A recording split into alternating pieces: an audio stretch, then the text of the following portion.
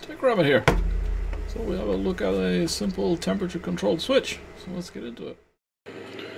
So anyway, here's the, uh, the switch that I kind of like to use. These are simple bimetal switches. That means that there's um, two contacts basically with um, different metals and um, based on the temperature they they move in a different way and then um, that creates a switch moment. So there's no electronics involved and you don't need a power supply for it.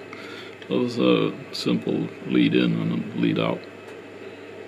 Uh, this is uh, can handle up to 250 volts, um, 5 amps and it's um, rated for 45 um, Celsius. So I usually use this is I, I use them to um, switch on and off fans.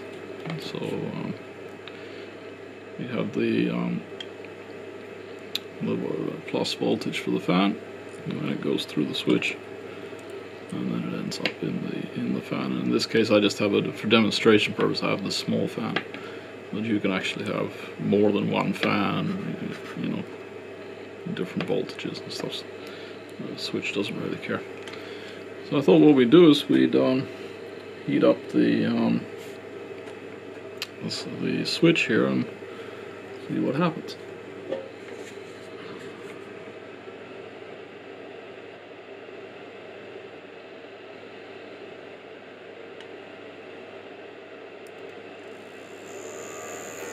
So now you see the fan started and that triggers at 45 degrees. And the nice thing about these switches is that they're a bit slow, so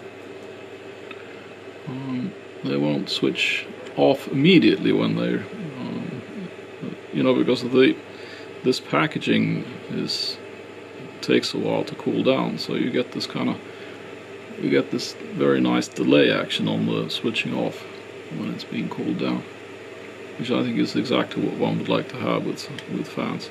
So one wouldn't want the fans to be going on and off, on off, on off. One wants to have a little bit of a delay in um, both directions. So now when I cool it down, then you see the fan stops. So that's a simple temperatures, and these are these come with very many different temperature ratings and um, uh, you know amperage ratings. But I'll put the um, the information about this specific type in the comments. So I hope you found this informative. Um, please consider subscribing.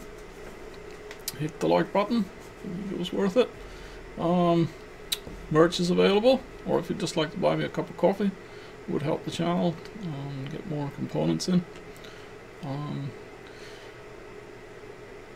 links are in the comments, and um, I'll see you in the next one.